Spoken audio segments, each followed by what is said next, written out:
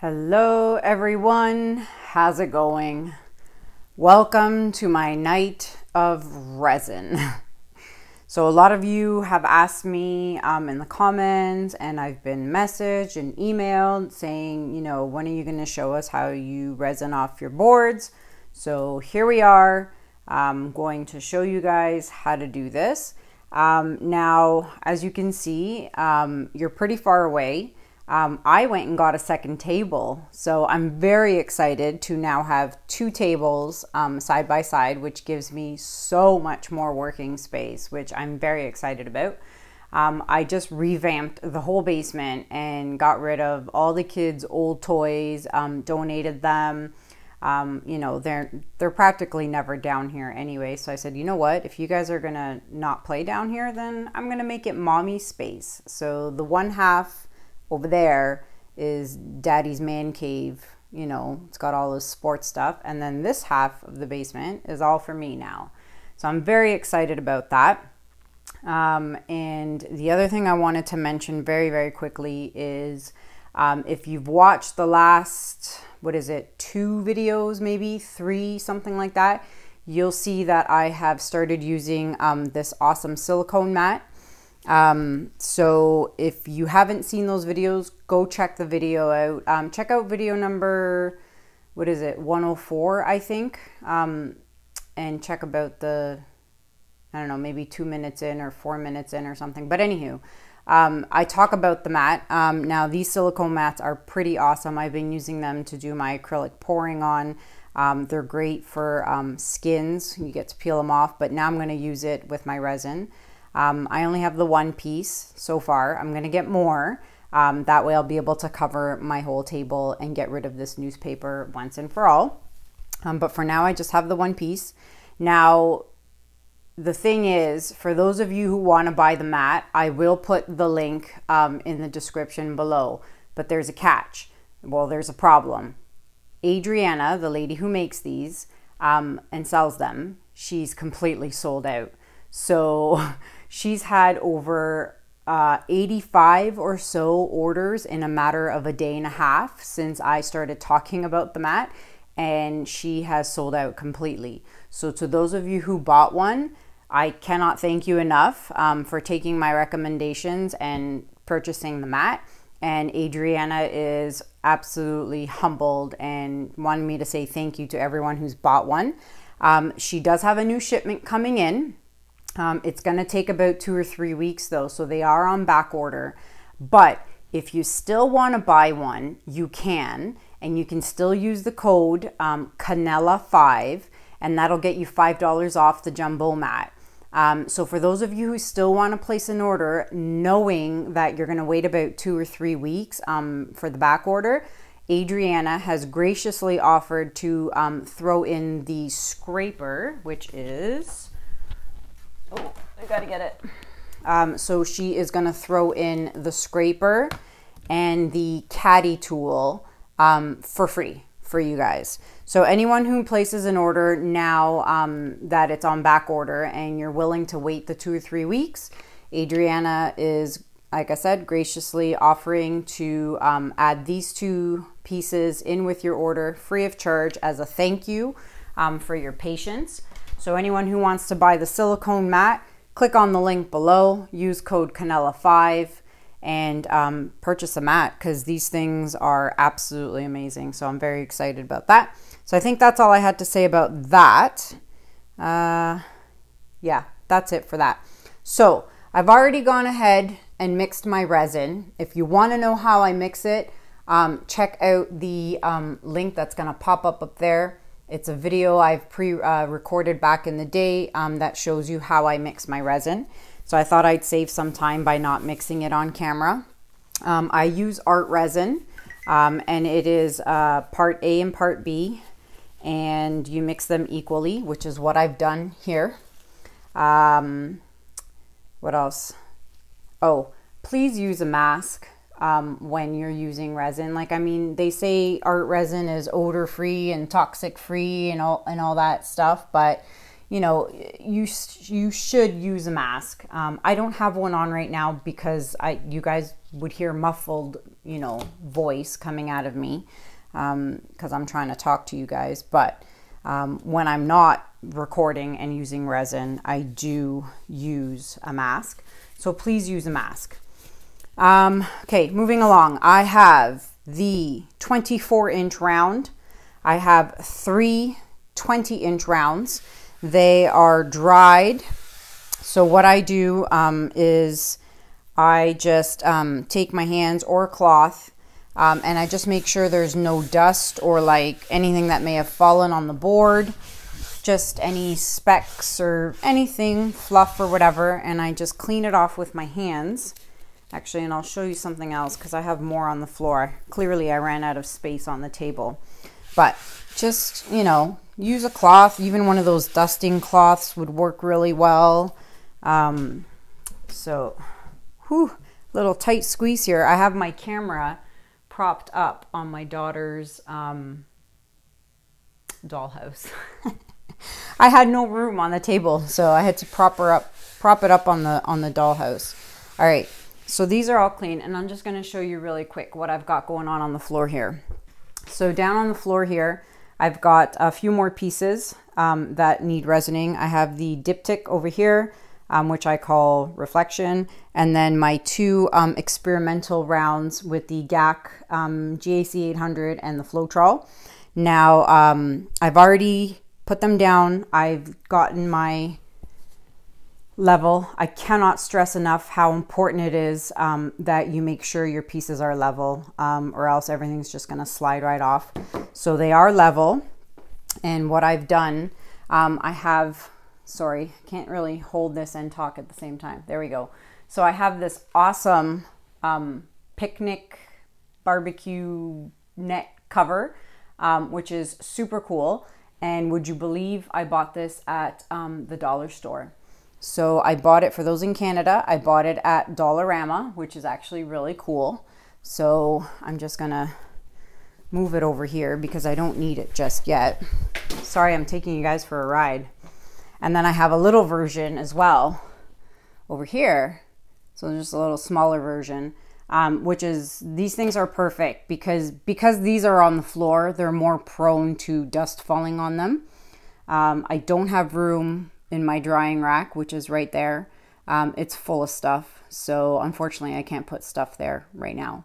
Um, but yeah, so I have these. I have a couple of them, and I got them from the dollar store. So um, yeah. So just I've made sure these are completely level and all that. So let's put you back up on the dollhouse and enough jibber jabbering and we'll get started. So, right. That'll stay there. Make sure you guys are in camera angle. All right. So, as excited as I was about buying a microphone so that you guys could hear me better, I guess I should have really looked into investing into a cordless a cordless microphone. Um, maybe down the road, but for now this will have to do. So, all right, get my gloves on. So, as I said, I've already mixed my resin and it's nice and clear. So, oh, and this is the one i am doing a clock on. So if you saw my two videos ago, you'll you'll see I showed you guys the clock with the clock hands on it. Guys, it's amazing.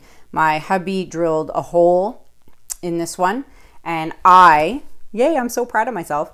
Um, I drilled a hole in the one piece that I think it was the GAC 800 piece. I'm going to turn that one into a clock too. So I'm going to turn one into a clock and then this one's going to be a clock too. So I've already drilled the hole and then the rest are just going to be um, wall art. I better move this teeny tiny remote. That's what gets my camera going.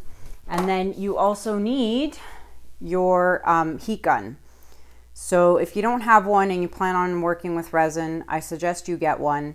Um, I have it listed in my Amazon shops, which are in the links below. Uh, you could use a torch. Um, but I prefer not using a torch because um, you're more prone to burning the resin because it is an open flame as opposed to this, which is really, really hot but not an open flame. Um, that's just preference for me. So I prefer um, to use a heat gun, not a torch. All right, stop talking, Kanella. Let's move on. So, you know, people probably wonder, well, how much resin do you need? Good question. I have no idea. There is um, artresin.com has a resin calculator where you punch in your dimensions of your piece. So let's say you have a 12 by 12 piece and it'll tell you exactly how much resin, how many ounces of resin you need to cover that piece.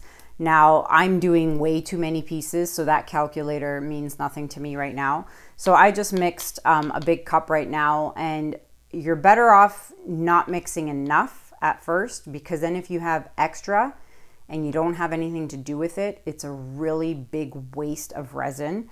Um, and the last thing you want to do is waste resin because believe me, art resin is not cheap. So, like, I mean, in Canada, uh, I believe, what is this, a half gallon, I think? I think so. I think they're, ooh, I think they're half gallons. Let me see. Yeah, so half gallon of hardener and half gallon of resin. So one gallon total. Um, I think that's right. But anywho, that cost me like 285 bucks. So it's it's definitely not cheap. Oh my gosh, the colors just pop when you throw resin on here. It's insane.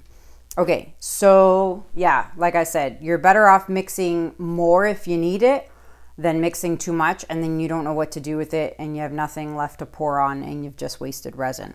So I'm gonna, I poured a bunch here as you saw.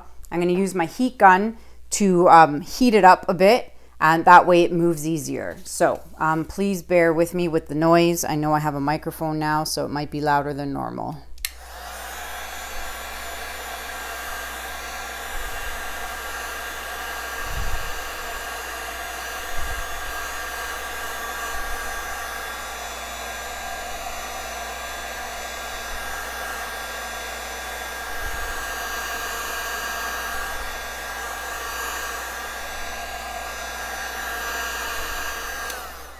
All right, so um, this one, because it has the hole in it, uh, don't worry about getting um, resin in the hole um, because, like, I mean, it will go in there no matter what you do.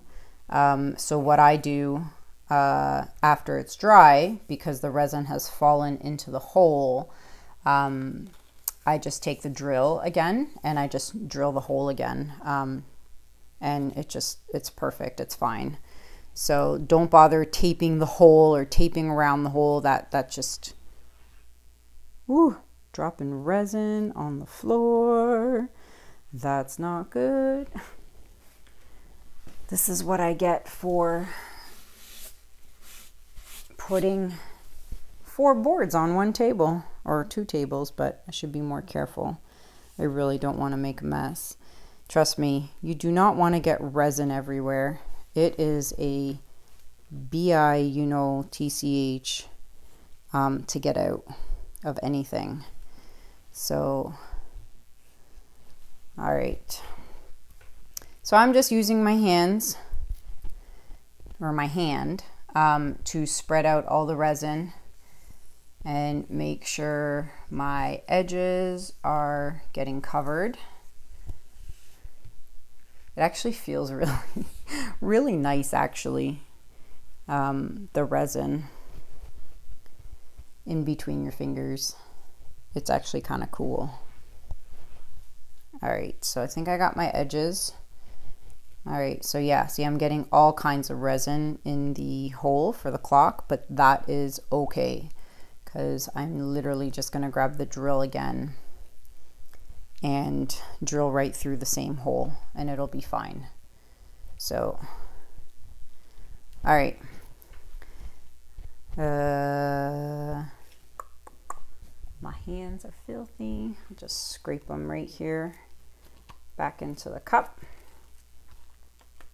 It really is um, a sticky mess working with resin, like for real. All right, so I've spread it all out. There's tons of bubbles in here. Um, so I am going to use the heat gun again to A, pop all the bubbles, and B, um, make it um, heat it up so that it moves better. All right, so bear with me. Feel free to fast forward because I'm not going to be talking through this part anyway.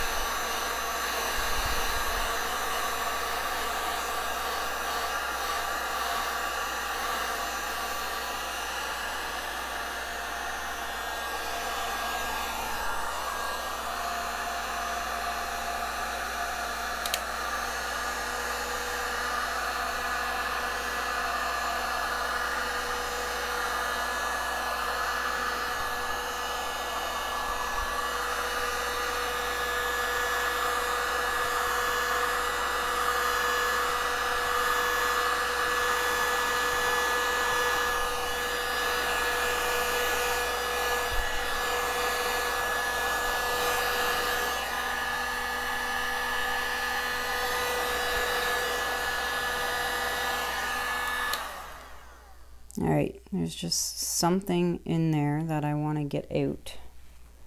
I can see it. This is why it's so important to um, clean off, make sure your board is literally crystal clear, clean. Yeah, see, there was like a, you know what it was? Um, it was the particle, the MDF particles from the hole. That's what it was. But I got it.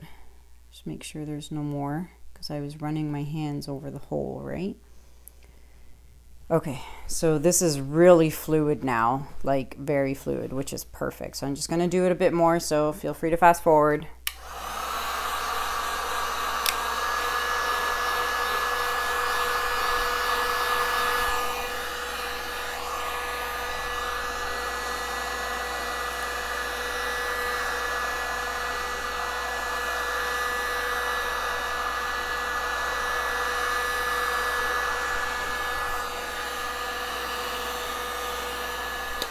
All right, and that's it. This one's done. So um, when I first put the resin down and I heated it up, I used the low um, setting. Uh, and then just now I was using the high setting just to um, make it more liquid and not as thick because it is cold. Um, the resin, it's, it's supposed to be a like, what is it? Seven. Ooh, I almost dropped the camera.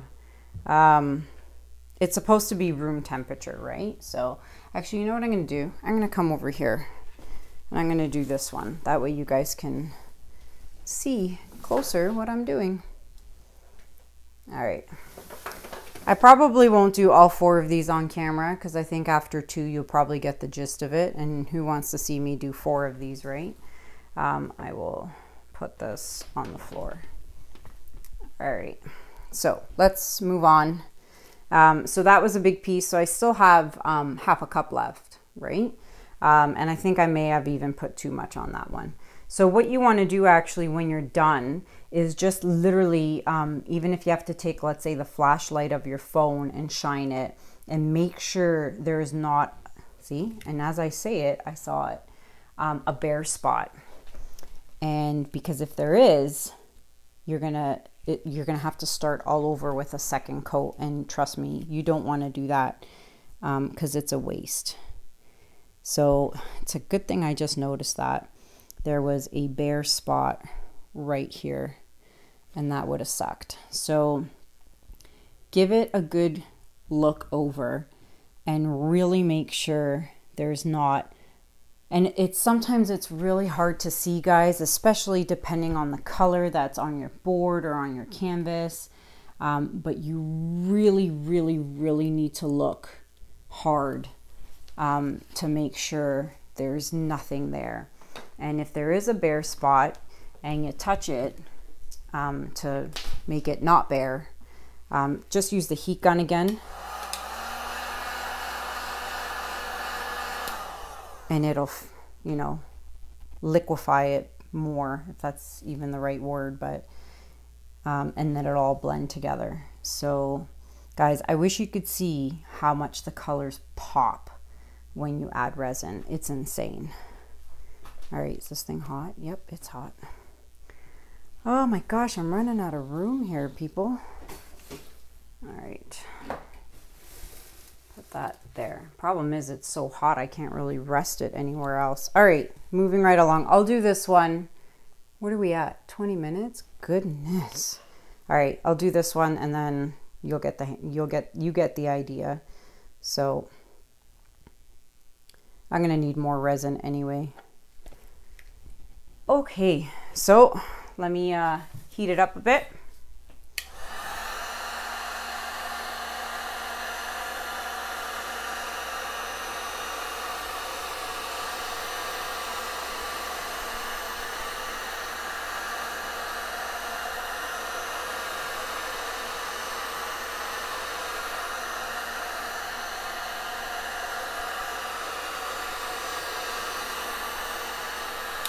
All right, put that there. All right, then just use your hands. Um, if you have the spatula and you want to use a spatula, you can do that. I really don't like using anything else other than my hands because you really get a feel of where there's resin and where there isn't resin. Um, and you really want to make sure you get every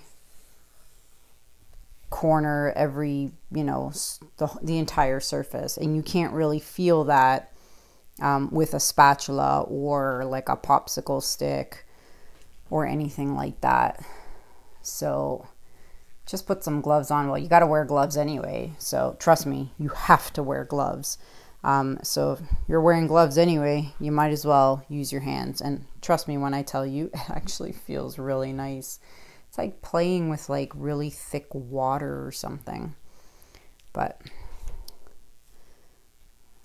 I have these specks of dust. All right, so my surface seems to be covered. It's very gel-like, but that's why you need the heat gun because that will heat it up and just turn the gel-like resin into like a watery resin. All right, so that's done. Waste not, want not. Trust me, you want to save every drop of resin you can. All right, I'm going to heat it up on high. It's going to get rid of all the air bubbles and really make it flowy.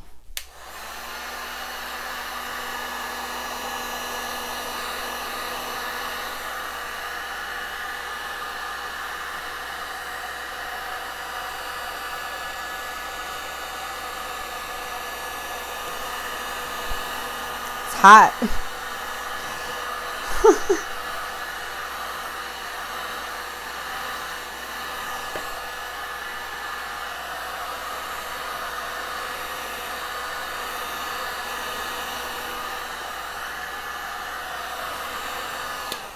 All right, I'm gonna put this over here on the little mini silicone mat I have because that thing is very hot. Okay guys, so again, just check it. Make sure there's no dust, no fluff, nothing, a hair, you know, cat hair, dog hair, your hair, um, nothing that's fallen in. Um, and again, make sure you just rub your fingers around the edges. Um, and just like I tell you guys in my acrylic pouring, um, feel free to run your fingers under the edges too, because um, there's a lot of dripping going on under there as well. So, oh yeah, lots going on under there. But anywho, so I've done two. I think you guys get the gist of it. Um, if you have any questions, just feel free to comment below. Um, I pretty much answer every question or comment. Um, but yeah, so there you have it.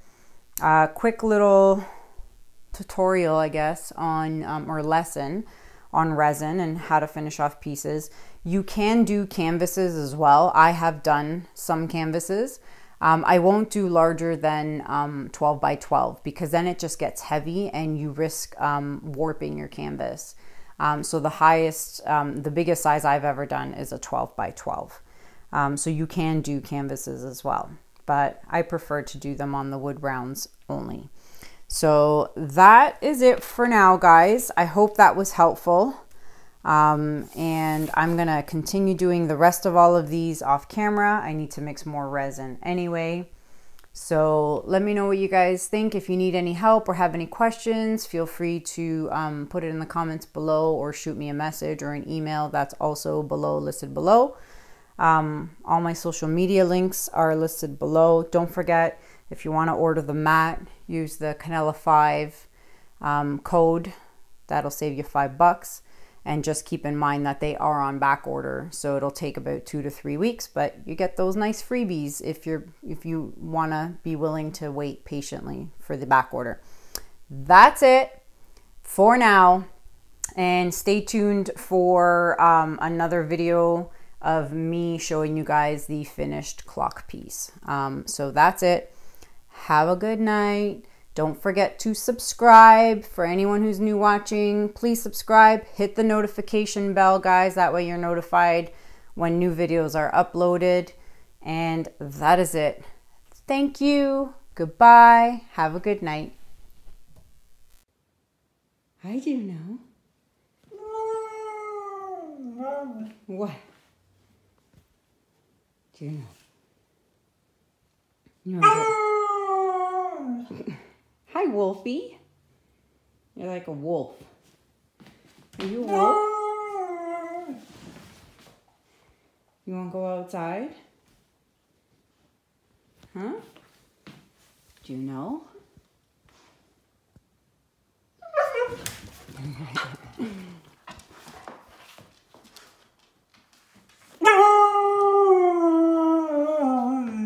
Good morning.